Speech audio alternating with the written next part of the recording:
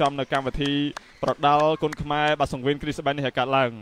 បាទជាការចូលរួមចំណែកបាទដ៏ធំធេងនៅក្នុងការអភិវឌ្ឍបាទគឺប្រដាល់គុណខ្មែរយើងឲ្យរីកចម្រើនបាទគឺអភិវឌ្ឍពីថ្នាលទៅបាទអភិវឌ្ឍឲ្យចំគោលដៅតែម្ដងប្រដាល់គុណខ្មែរគូទី1ទឹកទី2បង្គោលក្រហមរាជសីក្រាមស្រែបង្គោលខៀវផាន់បញ្ញាបាទដើមទឹកផាន់បញ្ញាចាប់ដើមសន្ធប់ ដើរចូលដើរចូលជលមួយអត់ដល់ទេបាទអាមេហែមិនបានបាញ់ធាក់ជួយរបស់ផាន់បញ្ញាដើរចូលជាបន្តទៀតពីផាន់បញ្ញាដើរចូលដើរចូលលូកស្ដាំតបស្ដាំរបស់ផាន់បញ្ញាចាប់ជើងជាប់បាទរៀងអស់ចំហបន្តិចបាទលោកមីរតនៈជាអ្នកបញ្ជាការប្រកួតដើរចូលជាបន្តទៀតលោកតត់ស្ដាំរបស់ផាន់បញ្ញាវាស្ដាំតត់ជើងក្រោមរបស់ផាន់បញ្ញាបាទវាវាបាទវាវាតតែចេញសង្វៀនតែម្ដងផាន់បញ្ញា បាទរាជសីក្រាមស្រែហាក់ដូចជាកាំងក្បាច់ទីហើយថយធាក់មួយពីផាន់បញ្ញាវាស្ដាំតបស្ដាំពីផាន់បញ្ញាបញ្ញាគេបាទគេអំណោយផលត្រង់គេកម្ពស់ខ្ពស់ជាងបងបង្គោលក្រហមរាជសីក្រាមស្រែបន្តិចបាទចឹងគឺវីស្រួលធាក់ជួយរបស់ផាន់បញ្ញាបាទដួលបាទទៅនឹងតាពីតែម្ដងឈាមដល់ចូលតបស្ដាំរបស់ផាន់បញ្ញា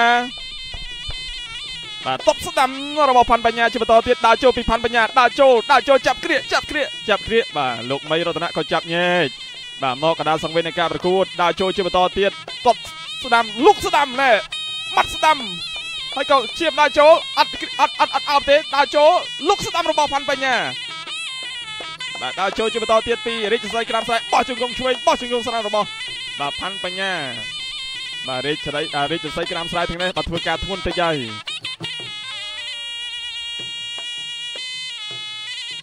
បាទចំប្រដាប់ការពៀនតិចបាទក៏បតាដៃទេធ្វើការប្រកួតជាបន្តទៀតដើរចូលលោកស្ដាំរបស់ផាន់បញ្ញាចាប់គ្រាកមួយសិនបាទលោកមៃរតនៈក៏ចាប់ញែក20វិនាទីចុងក្រោយនៅក្នុងការប្រកួតនៅក្នុងទឹកទី2បាទជាដើរចូលលោកឆ្វេងរបស់បង្គោលក្រហមរាជស្រីខ្នាមខ្សែបោះជង្គង់ស្ដាំរបស់ផាន់បញ្ញាបាទផាន់បញ្ញាគេមានបាទលទ្ធភាពល្អជាងទាំងកម្ពស់បាទទាំងចំហ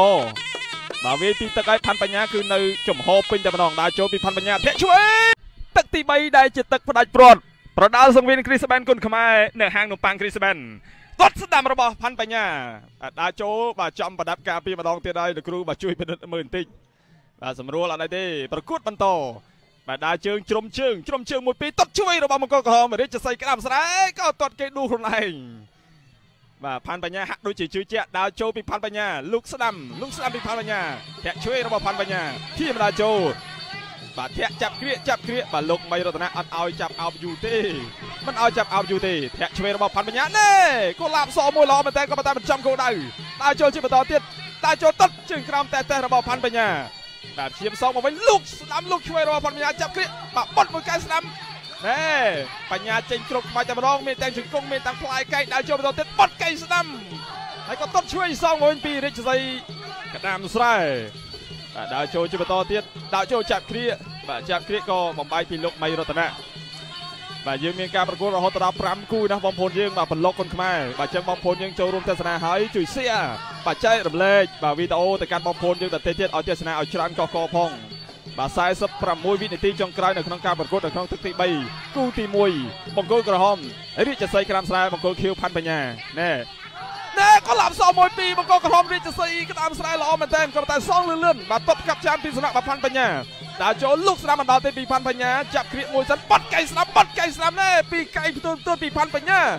បាទរាជសីក្រាមស្រែថាមិនបញ្ហាទេ no problem ដើរជាបន្តទៀតតតបាទដើរចូលហើយក៏លុកឆ្វេងពីរាជសីក្រាមស្រែបោះជង្គង់ពីផាន់បញ្ញាតែបងប្អូននឹងចាំចាំឈ្មោះអ្នកទាំងពីរចាំមុខអ្នកទាំងពីរឲ្យអនាអនាគតបាទគឺបាទ កីឡាករ Grade A នេះបាទវាយតាំងពីអាយុប៉ុណ្ណេះទៅបាទអនាគតគឺ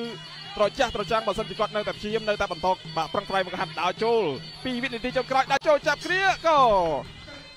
បាទជាប់ទឹកទី3បាទឃើញថាអ្នកទាំងពីរបាទគឺវាយអស់ពីសមត្ថភាពដូចគ្នាទាំងបង្គោលក្រហមរាជសីក្រាមស្រែទាំងបង្គោលខៀវបាទគឺផាន់បញ្ញា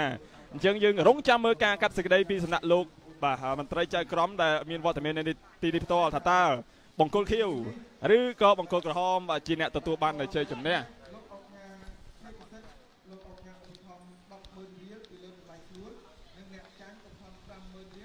បាទសម្រាប់បាទការប្រកួតនេះបាទគឺមានការអបថមសម្រាប់អ្នកឈ្នះទទួលបាន100,000រៀលរីឯអ្នកចាញ់ក៏ទទួលបានទឹកប្រាក់បន្ថែមបាទគឺចំនួន50,000រៀលផងដែរបាទនេះជាការលើកទឹកចិត្តបន្ថែមទៀតបាទសម្រាប់បាទយុវជនបាទសម្រាប់ពលរដ្ឋคนខ្មែរយើងឲ្យគាត់ប្រឹងប្រែងវឹកហាត់ហើយគាត់ជាឱកាសមួយនៅក្នុងការបង្ហាញបងដែរមង្គលខៀវ អន្តញ្ញាបាទឈ្នះកីឡាករបង្គោលក្រហមរាជសីក្រាមស្រែដោយពិន្ទុបាទចឹងក៏អបអរសាទរទៅដល់បង្គោលខៀវបាទផាន់បញ្ញាហើយក៏ចូលរួមសោកស្ដាយសម្រាប់បាទបង្គោលក្រហមរាជសីក្រាមស្រែផងដែរ